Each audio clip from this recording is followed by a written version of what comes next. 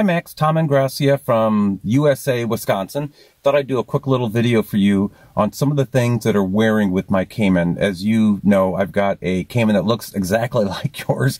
Mine is a base Cayman 2009 987.2.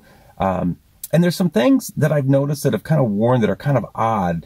And I thought I'd just uh, show them on video and see if anybody has some comments as to the the uh, the causes of them. Anyway, here we go.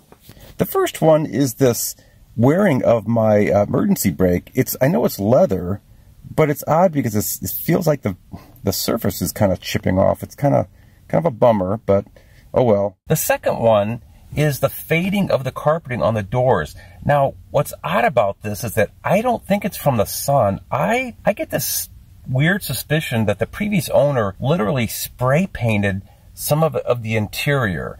Um, because look, look at the look at the carpeting and, oh, I'm embarrassed with my coffee still there, but I'll show you another one and you can tell me what you think. Now look at that. Look at right under here. Doesn't that look like that was spray painted or something? I don't know. I have a feeling, you know what I think, Max? I think the person before me had a little dog that, that she drove with and scratched the heck out of the interior.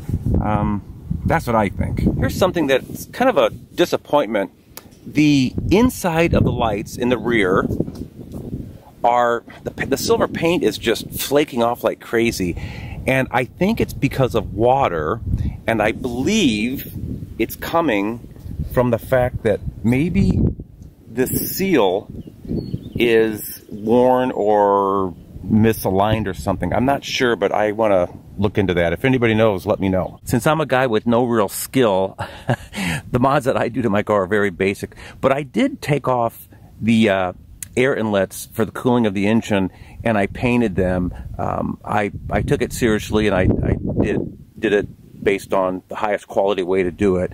You know, cleaning them, sanding them with multiple different types of uh, sandpaper, uh, chemical cleaning and then painting correctly and waiting the proper amount of time between coats. So I think they look pretty cool.